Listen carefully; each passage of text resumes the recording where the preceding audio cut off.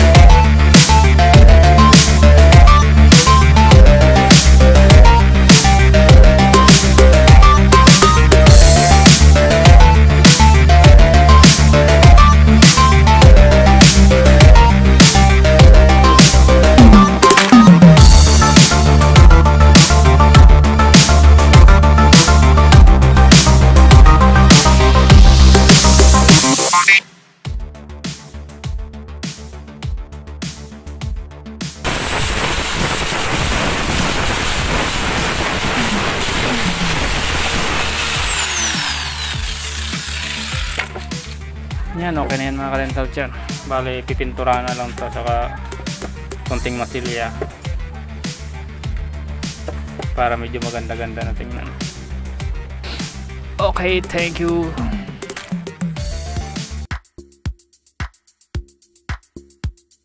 Mga ka-rental chair, nag-aantay muna ako kasi may patient pa si Doc. Di, muna, di pa ako makapasok. Mamaya ka pa gagawin. Picture-picture muna, video-video and then ito na mga karental chair sinisimulan ko na iniisa-isang ipasok ulit yung mga hose para ikakabit ko na yung ginawa ko. Kaya pinuputol ko na isa-isa para makapasok na siya lahat. And then makabit ko na.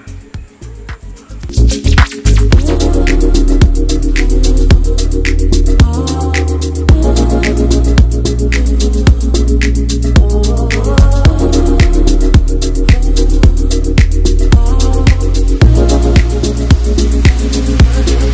love.